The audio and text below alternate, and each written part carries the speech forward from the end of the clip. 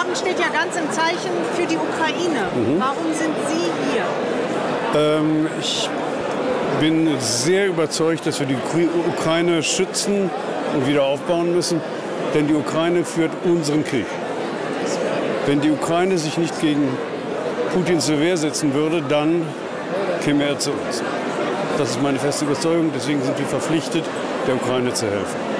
Was kann denn jeder von uns tun, um irgendwo, tja, wenigstens ein Stück Frieden in die Welt zu bringen? Schwierige Frage, kann ich nicht beantworten. Das ist zu schwer, ja, ja, Ja. genau. Hm?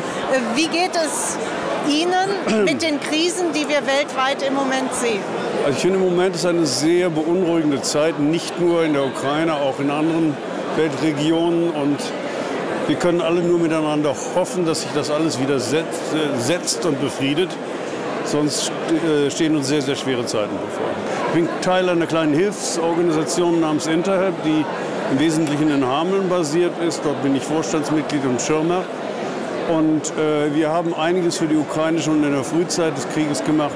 Mein Sohn hat zum Beispiel äh, geholfen, dort einen Bus hinzubringen, der in ein rollendes La äh, Lazarett umgebaut worden war. Leider ist der schon nach sechs Monaten durch einen russischen Angriff zerstört worden. Zwei ähm, medizinische Helfer sind dabei ums Leben gekommen, traurigerweise. Ähm, ich selber habe eine Lebensmittellieferung äh, dorthin gebracht und unsere Organisation arbeitet äh, schon seit vielen Jahren, genauer gesagt seit 2014, mit einer vergleichbaren Organisation in der Ukraine zusammen, sodass wir dort sehr gut aufgestellt sind und äh, sehr gut helfen können.